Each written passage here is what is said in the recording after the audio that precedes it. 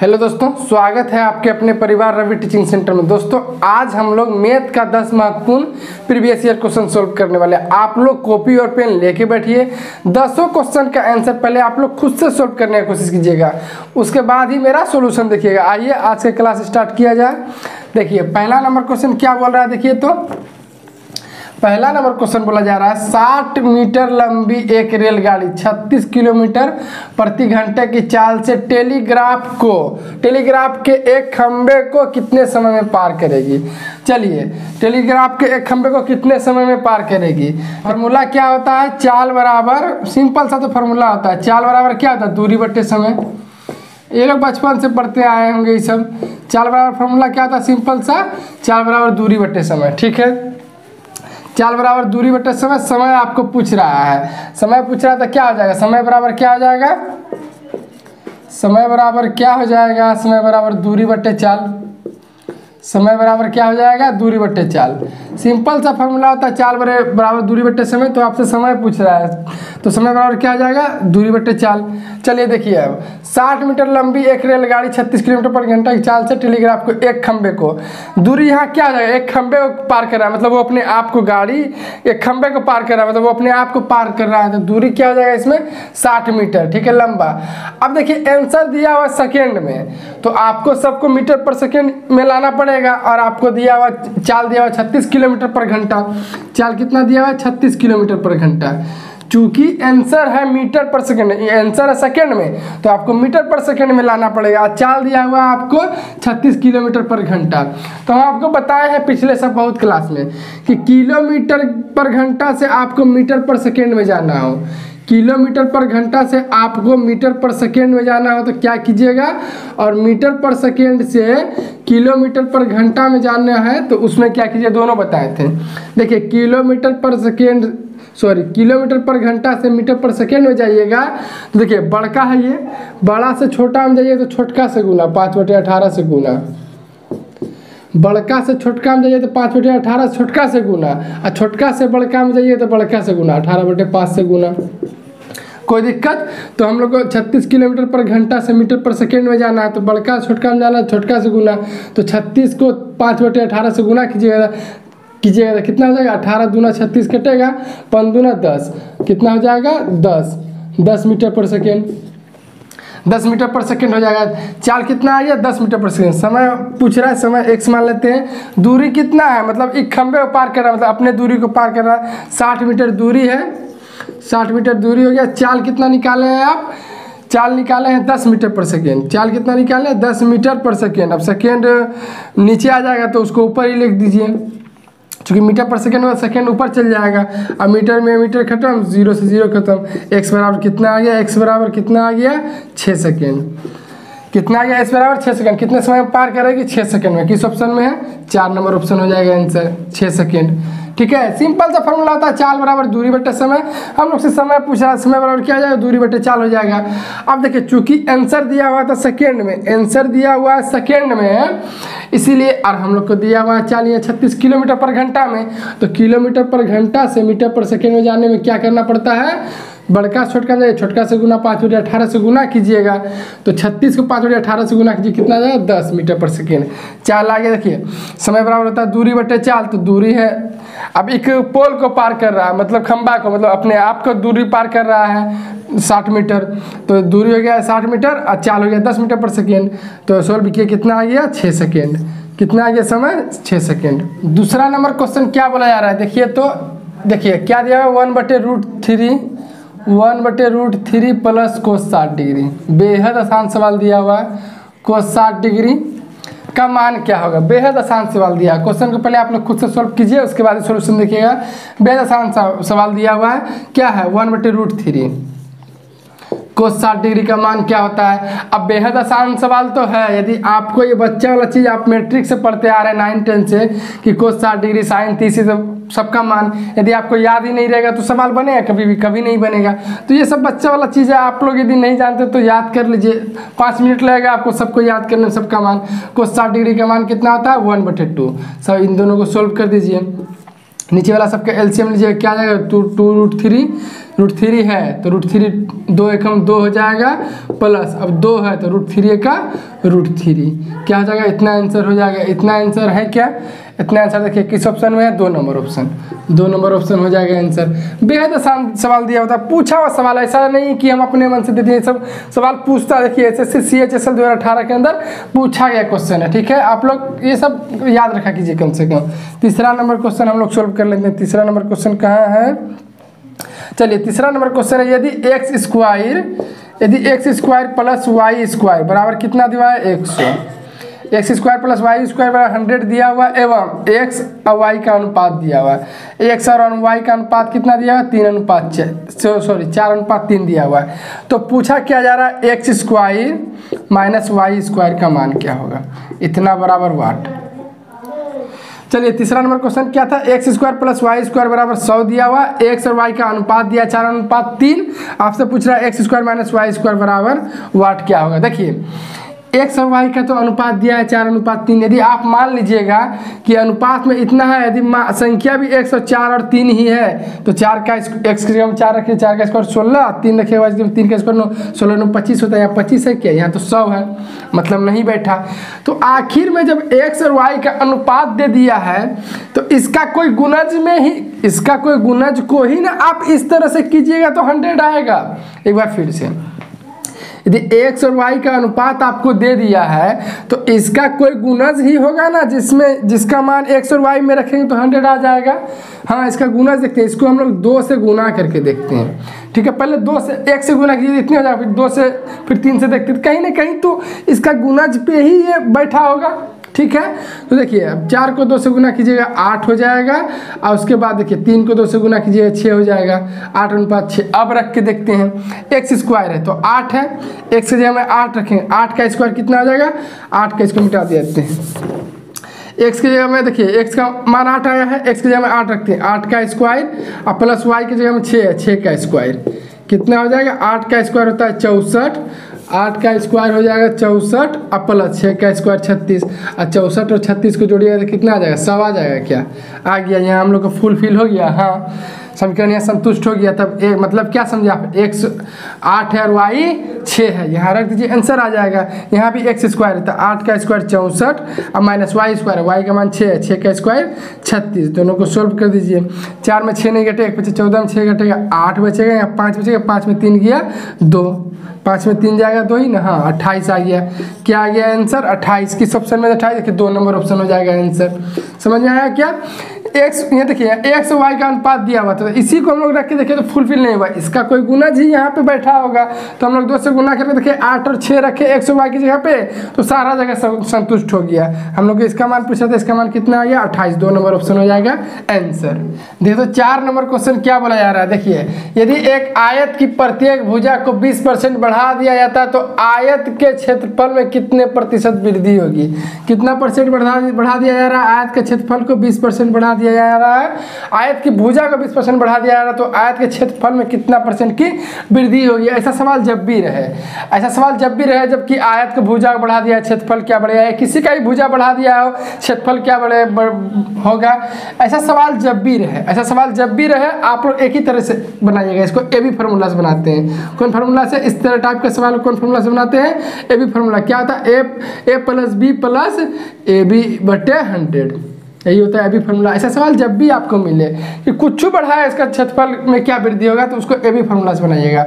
ए और बी दोनों को यही मानना है, ठीक है? बीस परसेंट वृद्धि हो रहा है ना ए को भी यही मानना है, बीस को भी यही क्योंकि क्षेत्रफल में वृद्धि हो रहा है। तो ए बी बीस रखिएगा बी भी बीस रखिएगा। प्लस बीस गुना बीस ए बी को बीस बीस माने बटे हंड्रेड। अब देखिए, एक शून्य एक शून्य एक शून्य एक शून्य। खत्म खत्म हो गया।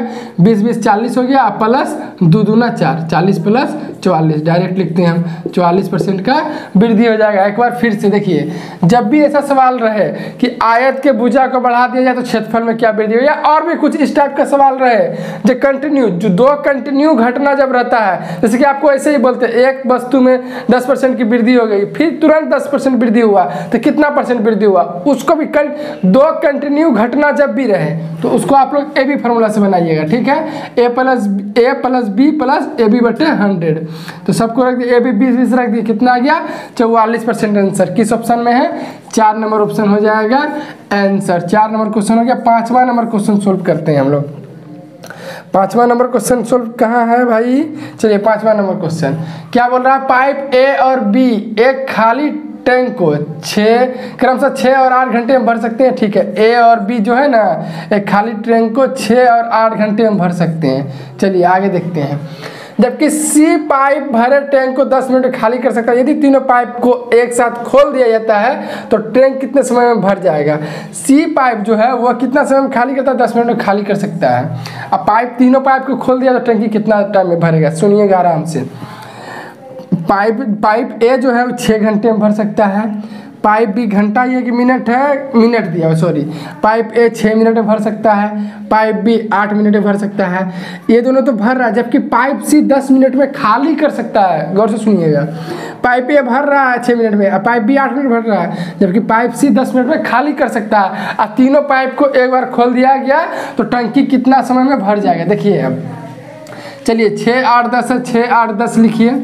सबका एलसीएम लीजिए, सबका आप एलसीएम लीजिए। कितना आ जाएगा इसका एलसीएम? देखिए तो एलसीएम अच्छा खासा हो जाएगा इसका। कहा कि सब जटिल है, कितना हो जाएगा आंसर इसका? 120 120 हो जाएगा आंसर क्योंकि 100 वह छोटे एलसीएम क्या होता है? वह छोटी छोटी संख्या जो दिया गया सभी संख्या से कट जाए। 120 ही नज़दीक में ऐसा है जो सबसे कट रहा है। कितना कितना बार में? 6 से काटिएगा 20 बार में छः दूना बारह। आठ से काटिएगा तो आठ एकम आठ और चार। आठ पंचालीस पंद्रह बार में कटेगा, पंद्रह अठे एक सौ बीस। और दस बार में काटिएगा तो दस को बारह बार लगेगा, एक सौ बीस को काटने में। इतना समय में काट सकता है, ठीक है? तो टंकी बोला कितना समय में भर जाएगा ना? देखिए ए और बी तो भर रहा था भैया, लेकिन सी खाली कर रहा था। तो भर कितना रहा? बीस और पंद्रह। बीस और पंद्रह कितना हो गया? पैंतीस। बीस और पंद्रह कितना हो गया? पैंतीस। ए और बी पाइप भर रहा है तो ए पाइप ए का देखिए पाइप ए था, ये बी था और ये सी है है ना? पाइप ए भी भर रहा है तो बीस भर रहा है और पाइप बी पंद्रह भर रहा है तो बीस और पंद्रह पैंतीस भर रहा है, जबकि पाइप सी खाली कर रहा है। पैंतीस में पाइप सी बा, आखिर में तीनों नल खोलिएगा तो दो ठो नल भर रहा है तो एक ठो खाली भी तो कर रहा है तो पैंतीस भर रहा है और बारह खाली कर रहा है तो कितना भर रहा है मतलब वो लोग? पैंतीस भर रहा है बारह खाली कर रहा था, एक मिनट में कितना भर रहा है देखिए इसको घटा दीजिए। तेईस। तेईसे ना भर रहा है एक मिनट चूँकि देखिए ए और बी भर रहा है तो बीस और पंद्रह पैंतीस भर रहा है, और बारह कोई खाली कर रहा है तो थोड़ी टोटल भर जाएगा, पैंतीस से बारह हटा दिए मतलब एक मिनट में कितना भर रहा होगा? तेईस ना भर रहा होगा क्योंकि पैंतीस भर रहा है, ये खाली हो तो कर रहा है सी तो कितना भर रहा है? तेईस भर रहा है, एक मिनट में तेईस भर रहा है। भरना कितना है? एक सौ बीस। भरना है या नीचे लिखते हैं, भरना है 120 अब भर कितना रहा है लोग? एक मिनट में तेईस। तो कितना टाइम में भरेगा? 120 को तेईस से भाग दीजिए आंसर निकल जाएगा। चलिए, इसको तो कटेगा नहीं है कितना बार में लगेगा? छः बार में लगाइए छः दूना बारह छः अठारह, ज़्यादा हो जाएगा। पाँच बार में लगेगा पंद्रह सौ, एक सौ पचतिया पंद्रह, एक सौ पंद्रह हो जाएगा। पाँच बार में लगाइएगा, तेईस पंचे एक सौ पंद्रह हो जाएगा। एक सौ बीस शेषफल कितना बचेगा? पाँच बचेगा, बटे तेईस। इतना ही आप भागा करके देख लीजिए 120 को तेईस से भागा कीजिए, कितना आ जाएगा? पाँच पूर्णांक पाँच बटे तेईस, पाँच पाँच बटे तेईस, यही हो जाएगा आंसर किस ऑप्शन में है? चार नंबर हो जाएगा ऑप्शन आंसर। पाँच पाँच बटे तेईस, चार नंबर ऑप्शन हो जाएगा आंसर। चलिए छः नंबर क्वेश्चन क्या बोला जा रहा है? देखिए तो दो वर्षों के लिए आठ प्रतिशत प्रति वर्ष की दर से एक सौ रुपये पर चक्रवृद्धि ब्याज और साधारण ब्याज के बीच अंतर अड़तालीस रुपये है। एक्स का मान ज्ञात करें। देखिए, हम आपको ऐसा ऐसा सवाल आपको हम शॉर्ट वीडियो में भी पढ़ाए हैं, ठीक है? शॉर्ट वीडियो मात्र एक मिनट के से छोटा का वीडियो होगा। ऐसा सवाल उसमें बताया शॉर्ट वीडियो में। देखिए, जब भी आपको ऐसा सवाल दे, चक्रवृद्धि ब्याज और साधारण ब्याज का अंतर वाला सवाल दे।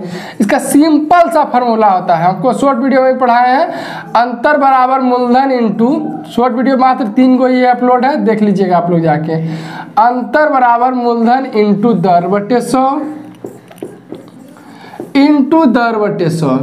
दो साल का दिया हुआ रहे तो इतना ही लिखना है और तीन साल का दिया रहेगा तो सिर्फ़ इसमें ऐड कर देते हैं, तीन सौ प्लस दर बटे सौ। दो साल या तीन साल का ही देगा। दो साल का देता तो सिर्फ़ इतने ही तक रहने देते। अंतर बराबर मूलधन इंटू दर बटे सौ इंटू दर बटे सौ। और तीन साल का देगा तो इसमें क्या कर दिया? इंटू तीन सौ प्लस दर बटे सौ। लेकिन हम लोग को पूछा जा रहा है दो साल का ही तो तीन साल वाला मिटाइए। इतना का ही काम है हम लोग को। ठीक है? हम लोग को दो साल का ही पूछा जा रहा है। क्या था फॉर्मूला अंतर बराबर मूलधन इंटू दर बटे सौ इंटू दर बटे सौ। अंतर कितना दिया हुआ? अड़तालीस अंतर दिया हुआ है। बराबर मूलधन देखिए, यही तो निकालना है। मूलधन ही निकालना है। एक से ज्ञात करें। मूलधन निकालना इंटू दर बटे सौ, दर कितना? आठ परसेंट। आठ बटे सौ और इंटू आठ बटे सौ। दर आठ दिया हुआ है। तो सिंपल सा फॉर्मूला अंतरला मूलधन इंटू दर बटे सौ इंटू दर बटे सौ। मूलधन ही पूछा जा रहा है। चलिए अब काट कूट कीजिए। कहाँ कहाँ से कटेगा? आठ छक्के अड़तालीस। छः बार में ऊपर ऊपर कट जाएगा, ठीक है? अब देखिए, चार दूनी आठ, पच्चीस चौके सौ कटा क्या? फिर दो से काटिए। दो तिया छः तीन आ गया। अब तो कहीं नहीं कटेगा। अब कोना कोनी गुना हो जाएगा। कुछ नहीं, नीचे एक है। एक को एक से गुना कीजिए एक्स ये पच्चीस, एक सौ और तीन। सब ऊपर जाके गुना, कोना कोनी गुना हो जाएगा ना, ऊपर नीचे? तो पच्चीस, एक सौ और तीन, सब गुना हो जाएगा। तो पच्चीस दिया पचहत्तर, डायरेक्ट लिखते हैं पचहत्तर, दो शून्य का दो शून्य। एक्स का मान कितना आ गया?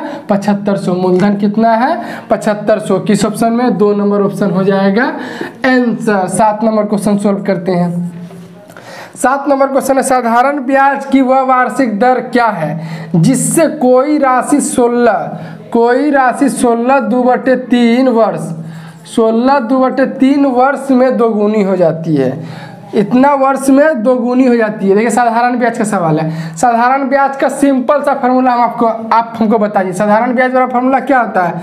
परसेंटेज ब्याज बराबर होता है, परसेंटेज ब्याज बराबर होता है पी गुना आर गुना टी बटे हंड्रेड। सिंपल सा फॉर्मूला होता है, साधारण ब्याज का पी गुना आर गुना टी बटे हंड्रेड साधारण ब्याज का फॉर्मूला होता है सिंपल सा। अब देखिए, कोई भी राशि इतना वर्ष में दो गुना आता है, इसको सोल्व कीजिए। सोलह तीन अड़तालीस दो, पचास बटे तीन है। साल कितना दिया? है पचास बटे तीन। समझिएगा। अब देखिए, कोई भी राशि, कोई भी राशि बोल रहा है, कोई भी राशि इतना वर्ष में दो गुना हो जाता है। दो गुना का मतलब क्या समझे? यदि राशि 100 है तो वो दो गुना होकर 200 हो जा रहा है। अब जितना ही मान सकते हैं। यदि राशि 200 है तो दोगुना होकर 400 हो जा रहा है। आप समझिएगा। आपको जो लेने का मन, आपको मूलधन राशि जो लेने का मन लीजिए 500 लीजिएगा तो इतना वर्ष में कितना है? दो गुना हो जाता है मतलब एक हज़ार हो जाता है। जो भी लीजिए, कोई दिक्कत नहीं, फ़र्क नहीं पड़ने वाला है। तो चलिए परसेंटेज ब्याज तक पूछा क्या जा रहा है? हो जाएगी। मतलब कि साधारण ब्याज की वह वार्षिक दर क्या होगी? दर पूछा रेट पूछा पूछा जा रहा है, जिससे कोई राशि इतना वर्ष में दोगुनी हो जाएगी। ब्याज क्या है? ब्याज कितना बढ़ रहा है? एक सौ यदि मानिएगा आप मूलधन तो एक सौ में हो जा रहा डबल हो जा रहा। मतलब एक सौ ब्याज हुआ यहाँ एक सौ रुपया था, उसमें दोगुना हो जा रहा। है मतलब एक सौ ब्याज बढ़ गया, दो सौ हो गया। दो सौ में यहाँ दो सौ ब्याज बढ़ गया। यहाँ पाँच सौ माने तो पाँच सौ ब्याज बढ़ेगा। मतलब जितना आप किसी को भी रख दीजिएगा आंसर सेम ही आएगा। जितना मतलब मूलधन है, उतना ब्याज ही बढ़ रहा है। पाँच सौ था या एक हज़ार हो गया? पाँच सौ से एक हज़ार हो गया मतलब कि इतना साल में? पाँच सौ से एक हज़ार हो गया। मतलब पाँच सौ तो उसका मूलधन ही था। पाँच सौ ना बढ़ा ब्याज या दो सौ से चार सौ हो गया। मूलधन था दो सौ दो सौ ना बढ़ा ब्याज एक सौ था एक सौ था मूलधन तो एक सौ ना बढ़ा ब्याज आपको किसी को मानने का मन, मान लीजिए हम लोग एक सौ मानेंगे, ठीक है? हम लोग एक सौ को ही मान के चलेंगे, ब्याज हम लोग क्या मानेंगे? एक सौ। सौ तो 100 वाला मूलधन भी एक के सौ है, तब ना एक सौ ब्याज बढ़ रहा है। आप 500 वाला भी मान सकते हैं। बाद में तो कट ही जाएगा भैया। ऊपर ऊपर कट जाएगा। 500 मानेंगे 500 से कट जाएगा। तो बराबर ही आ जाएगा। रेट हम लोग से पूछा जा रहा है। दर एक से लिख देते हैं। और देखिए, टाइम तो दिया हुआ, ईयर दिया हुआ पचास बटे तीन तो तीन तो नीचे आ जाएगा। और नीचे होता है सौ। सौ लिख दीजिए। ये बराबर बराबर तो ऐसे खत्म हो गया। पचास दूनी सौ, ठीक है? अब नीचे नीचे गुना कीजिएगा कुछ नहीं तो एक है, एक बटे एक तो एक्स हो जाएगा, तीन दूना छः। एक्स बराबर कितना आ जाएगा? एक्स बराबर आएगा छः। रेट कितना आ जाएगा? दर आ जाएगा छः परसेंट। किस ऑप्शन में है? तीन नंबर ऑप्शन। तीन नंबर ऑप्शन हो जाएगा आंसर। चलिए, आठ नंबर क्वेश्चन क्या बोल रहा है? देखा जाए। एक बल्ब के क्रय मूल्य तथा विक्रय मूल्य का अनुपात पंद्रह, अनुपात अठारह लाभ क्या है? क्रय मूल्य और विक्रय मूल्य का अनुपात दिया हुआ है। क्रय मूल्य और विक्रय मूल्य का अनुपात दिया है पंद्रह, अनुपात आठ, अठारह। लाभ पूछा जा रहा है। क्रय मूल्य बोलते तो सी पी कॉस्ट प्राइस क्रय मूल्य एस पी मतलब सेलिंग प्राइस विक्रय मूल्य ठीक है? सी पी कॉस्ट प्राइस क्रय मूल्य एस पी विक्रय मूल्य सेलिंग प्राइस का अनुपात दिया है पंद्रह, अनुपात अठारह, आपको बोलना है लाभ कितना हुआ। आराम से समझिएगा। पंद्रह सी पी मतलब क्या क्रय मूल्य मतलब माल जितना में खरीदा एस पी मतलब क्या सेलिंग प्राइस जितना में माल बेचा है। आप बताइए, हम आपको लाभ क्या होगा, आप हमको बताइए। कोई भी आदमी माल खरीदा है पंद्रह में और बेचा है अठारह में, ठीक है? खरीदा है कितना में? पंद्रह में, और बेचा है अठारह में। समझिएगा आप बात को। कोई व्यक्ति कोई भी वस्तु खरीदा है, कितना में खरीदा है? पंद्रह में खरीदा है और बेचा है कितना में? सेलिंग प्राइस अठारह। पंद्रह में खरीदा है, बेचा है अठारह। में कितना का लाभ हो रहा है? तीन का। देखिए, पंद्रह में तीन बढ़ाइए तो अठारह होगा। पंद्रह में खरीदा है, अठारह में बेचा है मतलब कितना का लाभ हो रहा है? तीन का कितना में? पंद्रह में। पंद्रह में लाभ होगा। देखिए, पंद्रह में खरीदा अठारह में बेचा है तो कितना का लाभ हो रहा है? तीन का। कितना में हो रहा है? पंद्रह में लाभ हो रहा है। तीन का तो सौ में कितना? सिंपल सा सवाल है, बन गया आंसर निकल गया। पंद्रह में खरीदा था, अठारह में बेचा था, तीन का लाभ हो रहा है। कितना में? पंद्रह में। तो सौ में कितना? परसेंटेज निकालने के लिए सौ से गुना करते हैं तो तीन पचे पंद्रह और पाँच दूनी दस, बीस बार में क्या कितना लाभ हो जाएगा? बीस परसेंट। कितना लाभ हो जाएगा उसको? 20 परसेंट। किस ऑप्शन में 20 परसेंट? तीन नंबर हो जाएगा ऑप्शन आंसर अगला क्वेश्चन सॉल्व करते हैं। नौ नंबर। नौ नंबर क्वेश्चन किधर है भाई? नौ नंबर क्वेश्चन यदि किसी संख्या के 50 परसेंट को पच को पचहत्तर में जोड़ा जाता है तो परिणाम वही संख्या होती है। वह संख्या क्या है? एक बार फिर से। यदि किसी संख्या के 50 परसेंट को 75 में जोड़ा जाता है तो परिणामी वही संख्या हो जाता है वह संख्या क्या है? भाई ऑप्शन ही बनाते देखिए पहला नंबर ऑप्शन मानते हैं। पहला नंबर ऑप्शन क्या है? डेढ़ सौ क्या बोला यार, आप समझिएगा। यदि किसी संख्या के 50 परसेंट को 75 में जोड़ा जाता है तो वही संख्या हो जाता है। यही ना चारों से कोई ऑप्शन होगा? किसी संख्या को, यही चारों से किसी संख्या को पचास किसी संख्या को पचास परसेंट। पचास परसेंट मतलब क्या? पचास बटे सौ एक बटे दो। किसी संख्या एक बटे दो मतलब क्या? आधा। किसी संख्या के आधा कर दीजिए, और उसमें पचहत्तर जोड़ने पर वही संख्या हो जाता है। तो पूछ रहा है वही संख्या क्या है? एक बार फिर से। किसी संख्या को के आप आधा कर दीजिए, किसी संख्या का आधा कर दीजिए और उसे पचहत्तर जोड़ दीजिए तो वही संख्या हो जाता है। वो संख्या क्या है? हम लोग पहले नंबर ऑप्शन देखते हैं। डेढ़ सौ का आधा कीजिए, कितना? पचहत्तर। डेढ़ सौ का आधा कीजिएगा, डेढ़ सौ का हाफ़ कीजिए ना, आप वन बटे टू कीजिए। डेढ़ सौ का आधा कीजिएगा हो जाएगा पचहत्तर। अब क्या बोल रहा है, पचहत्तर उसी की संख्या के आधा में पचहत्तर आधा में पचहत्तर जोड़ दिया जाता था तो डेढ़ सौ का आधा किया, पचहत्तर निकला। इसे पचहत्तर जोड़ दिया जाता था परिणामी वही संख्या हो जाता है। तो वो संख्या क्या है? पचहत्तर पचहत्तर, डेढ़ सौ। परिणामी वही संख्या हो जाता है। देखिए, वही संख्या आ गया कि नहीं आ गया। समझ रहे हैं आप बात को कि संख्या के आधा में पचहत्तर जोड़ दिया जाता है तो परिणामी वही संख्या आता है, वो संख्या क्या है? डेढ़ सौ ही वो संख्या है, जिसका आप आधा करके उसे पचहत्तर जोड़िए, डेढ़ सौ निकल जाएगा। कौन सा ऑप्शन हो जाएगा? आंसर एक नंबर ही हो जाएगा ऑप्शन आंसर दूसरा रख के देख लीजिए आप। दूसरा माना कि चार सौ मानिए। किसी को मानिए ना, तीन नंबर चार सौ मानते। तीन नंबर ऑप्शन मारते चार सौ। इसका आधा को, इसका आधा कीजिए तो दो सौ। और उसे पचहत्तर जोड़ते थे। कितना आता? दो सौ पचहत्तर। कितना आता? दो सौ पचहत्तर ही आता। माना कि तीन नंबर ऑप्शन हम लोग चेक कर ले रहे हैं आपकी संतुष्टि के लिए। चार सौ का आधा किए, दो सौ दो सौ पचहत्तर जोड़े, दो सौ पचहत्तर ही आ गया। वही संख्या कहाँ आया? तो तीनों ऑप्शन में नहीं आएगा। एक ही ऐसा ऑप्शन है, डेढ़ सौ को आप आधा कीजिए उससे पचहत्तर जोड़िए वही संख्या आ जाएगा। आंसर हो जाएगा एक नंबर ऑप्शन अब दस नंबर क्वेश्चन और आज का आखिरी नंबर क्वेश्चन देख ही लेते हैं इसी में। दस नंबर क्वेश्चन क्या है? दस नंबर क्वेश्चन, ये रहा दस नंबर क्वेश्चन।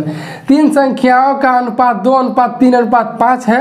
यदि तीनों संख्या का योग दो सौ पचहत्तर है तो तीनों संख्या में सबसे बड़ी संख्या क्या है? एकदम बेहद आसान सवाल है। चले लिखते तीन संख्या का अनुपात कितना? दो, अनुपात तीन, अनुपात पाँच है।